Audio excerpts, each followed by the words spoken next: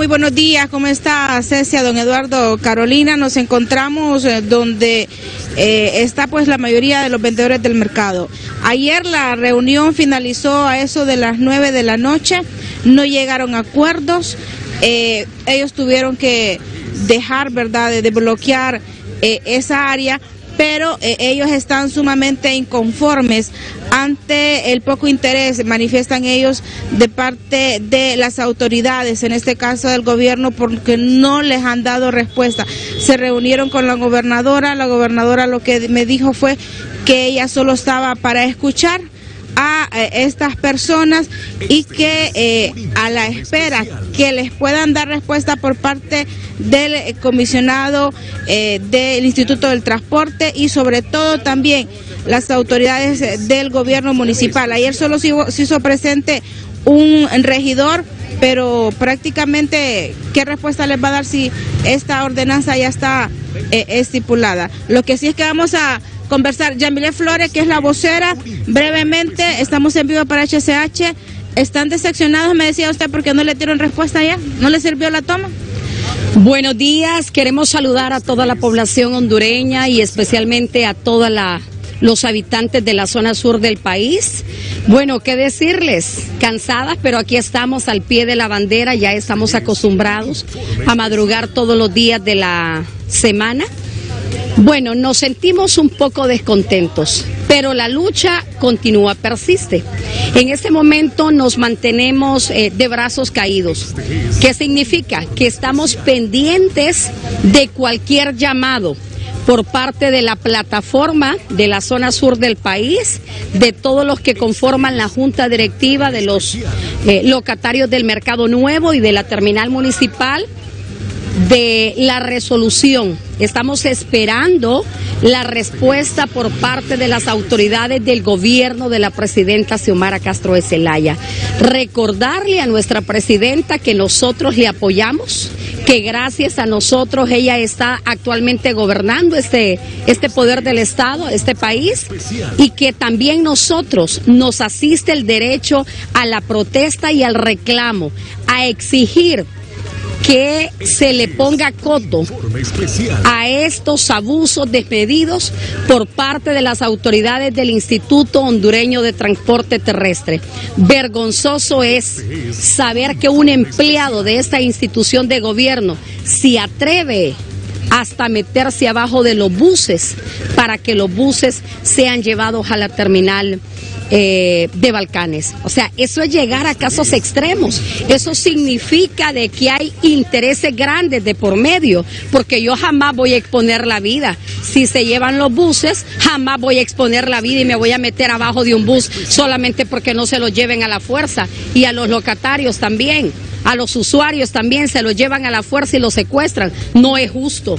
Heidi. palabras en este caso de eh, quiero hacerle una pregunta a la colega eh, Yamilet, eh, a la colega Yamilet Flores, una buena amiga, por cierto, colega periodista, luchadora, trabajadora, eh, allá en la zona en la zona sur del país.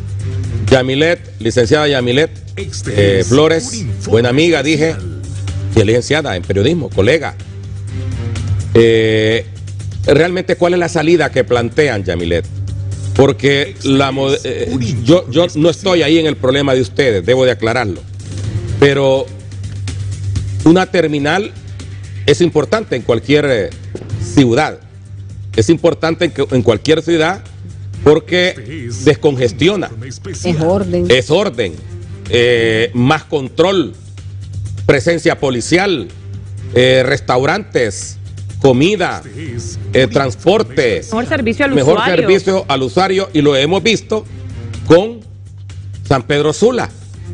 Lo hemos visto con Comayagua, que la gente también protestó al inicio. Lo hemos visto con otros sectores. Sí es importante, eh, eh, claro que es importante una gran terminal. Choluteca crece, enorme. Choluteca crece. Cada vez que uno va a Choluteca se sorprende de los buenos hoteles, buenos restaurantes, este, el movimiento económico que hay. Y he visto que con esta terminal, o es que los inversionistas no son de Choluteca, en la terminal Eh, se oponen los, los, vendedores de mercados, los empresarios del transporte, bueno, que, prácticamente eh, eh, en, el transporte Tegucigalpa y, y, y, la zona sur es de una sola persona. Él ha de tener su propia terminal y uno de los principales opositores son ellos, porque tienen su propia terminal. realmente, ¿qué salida? Por eso le digo, ¿qué salida ustedes le dan al conflicto? Porque Ustedes están organizados, las tomas van a seguir, pero ¿quién los va a sentar? La corporación municipal, tengo entendido, dio un permiso. La corporación municipal dio un permiso. Eh, los empresarios que fueron a invertir ahí quizás no tengan la culpa. Les dieron permiso. ¿Quién los va a sentar a todos ustedes para buscar una salida al problema? Porque aparentemente nadie los escucha. Ayer llegó la gobernadora y la gobernadora dijo, eh, de apellido creo Toro, la gobernadora dijo que ella había llegado para lograr convencer a ustedes que desalojaran la calle, pero que la salida no la tiene ella, que la salida no la tiene ella, que su accionar ahí es de buena fe. Licenciada Yamilet. Vamos a contestarle a todas esas interrogantes. En este momento nos sentimos eh, preocupados. ¿Sabe por qué, don Eduardo? Por la inoperancia y por la mediocridad de parte de nuestros funcionarios. Así de sencillo. Nosotros nos sentimos huérfanos de autoridades. La Corporación Municipal de Choluteca no da la cara. Nadie. Ellos solamente llegan cuando hay sesión de corporación municipal. Pero en Choluteca no le están dando la debida importancia a este problema. No es que estamos en contra del desarrollo, lo volvemos a recalcar. Solo para que usted analice, esto no fue sociabilizado. Supongamos que no haya sido sociabilizado se ha hecho la inversión. La terminal perfectamente puede continuar y puede operar en la zona sur del país y Choluteca ha crecido. Podemos decir que es uno de los polos de desarrollo de nuestro país. El tercero, no sé cómo lo califica la población hondureña. Pero en este momento debemos de entender que nosotros no estábamos preparados. Y lo que no nos ha gustado es la forma arbitraria en que las autoridades han actuado. ¿Por qué están actuando así? Si, como dijo el alcalde en un intento, debieron haber sociabilizado, la población iba a ir allá las personas que tuvieran negocio, que tuvieran capacidad, el transporte que quisiera. Yo le aseguro que en la zona sur del país hay transportistas que perfectamente están de acuerdo de ingresar a la nueva terminal, pero es de sentarse, todos los involucrados de sentarse. El problema es que nadie se sienta, don Eduardo. ¿Y nosotros qué hacemos? Seguimos en pie de lucha. Esta es una presión que nosotros vamos a continuarla haciendo y pedimos disculpas a toda la población que fue afectada. A los estudiantes no porque se les dio acceso, a los enfermos tampoco porque se les permitió, a los migrantes tampoco porque nosotros les permitimos. ¿Y sabe qué nos decían los migrantes? Que se sentían felices cuando las calles estaban tomadas porque solamente así no eran asaltados por los empleados de, este, de esta institución como lo es el IHTT. O sea, imagínense cómo estamos. Estamos en este momento en donde nosotros no tenemos respuesta de nadie, no hayamos a quién acudir.